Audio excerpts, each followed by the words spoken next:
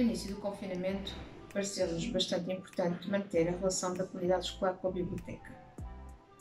E, nesse sentido, pensámos em lançar questões semanais de escolha múltipla. Dentro dos vários temas que analisámos, o tema da etiqueta e boas maneiras pareceu-nos bastante pertinente. Este tema não curricular, mas transversal e importante para a formação integral do, do aluno.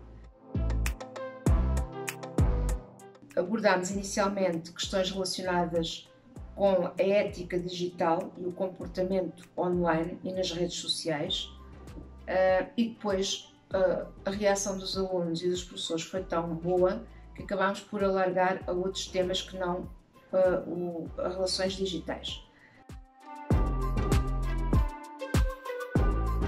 Aconselho as bibliotecas a adquirirem o livro Etiqueta Moderna porque é um excelente livro de consulta para os alunos e mostrar-lhes até que a educação e, e as boas maneiras são sempre um excelente cartão de visita, seja em que circunstância for. Nunca tínhamos abordado este tema, porque dentro das atividades que tínhamos promovido na biblioteca nunca aconteceu, não porque não tivéssemos já pensado nisso, mas porque nunca calhou. Mas tencionamos dar continuidade a esta atividade até com a vinda do escritor à nossa biblioteca, se a pandemia assim o permitir.